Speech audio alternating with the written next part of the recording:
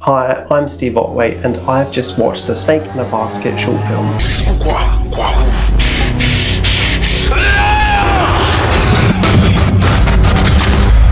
So before starting with my reflections, I just want to say a huge congratulations to the team because wow, this is an amazing piece of work. So firstly, the way I've interpreted the snake in the basket metaphor is by it usually meaning something like there's a threat or a hidden danger that individual is facing. What I think the film really conveys effectively is that this metaphor is illustrated right through the concept of an individual having too much ambition and that is what their danger is. In this film as well, ambition has been used to ultimately illustrate what this metaphor is really all about. And I think the team have done an amazing job in actually communicating this concept very clearly. But what really struck me throughout the film as well is kind of like the end-to-end process behind the script writing, the acting, the filming, the editing. I know that there's so much work that goes into it,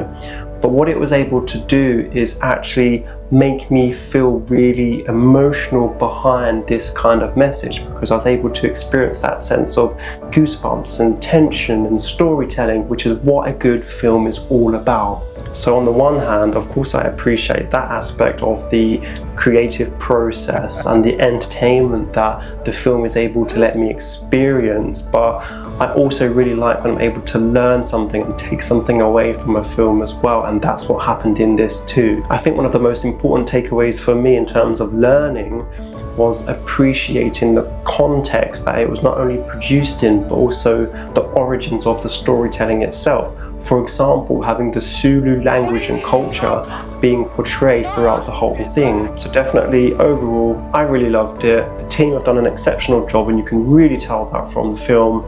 And ultimately, I think the last thing I'd like to say is that I just can't wait to see the next project.